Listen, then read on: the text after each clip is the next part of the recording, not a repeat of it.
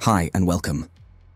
This is another brief and impromptu video that showcases how the mechanics behind the Sync Z-turn can be applied, at least partially, to solve different situations. In this case, a section of F-14A Tomcats is tasked with intercepting a bandit heading at a low altitude toward friendly assets. Usually this is a no-brainer for any Rio. The 1960s AWG-9 enables finding targets at incredible ranges, and there is often plenty of time to compute the intercept. However, this may not always be the case. What if threat is called? Or a bandit uses terrain masking to hide from the radar? Or what about a jamming bomber that can deny range determination until very short range? The Sync Z-turn highlights a minor issue, the lack of a B-scope for the front seater. Since drift is the centrum mundi of this maneuver, and the azimuth is easily observed there, we either need track while scan or the Rio providing instructions.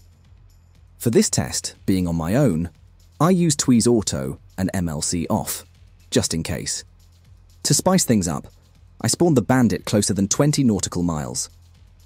As we know, the vector in the TID AS shows all the information we need to skip the point and assess step. Ergo, the pilot can immediately maneuver to place the target at a synced azimuth of circa 45 degrees, using the TID readout to monitor the ATA. Given the short range, it didn't take long before I turned to pure pursuit whilst gently diving to match the bandit's altitude.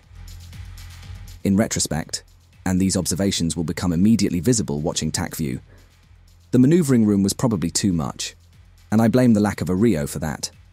A human in the back seat would have immediately seen how the geometry was close to 60-70 cut, or 130-140 HCA if you prefer, thus alerting the pilot that such a great amount of room was not necessary. A glance at the DDD, even in PD mode, was all that's needed. As virtual crews, we should always aim to use any little bit of information the scenario and the avionics give us. That's how we build better situational awareness, which in turn allows us to do better in any situation.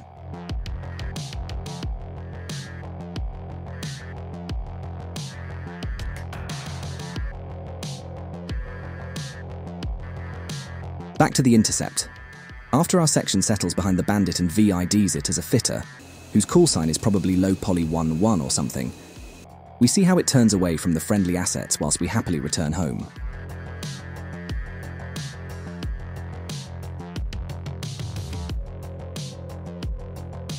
TACView clearly confirms the initial impressions. Given the amount of cut, the sync azimuth could have been a bit more conservative, leading to a cleaner and closer rollout. On the other hand, the delay in the turn has a potential benefit. The fighter is potentially less visible to the bandit scanning outside, as it tends to drift closer to the cold aspect rather than flanking. Food for thought, I guess.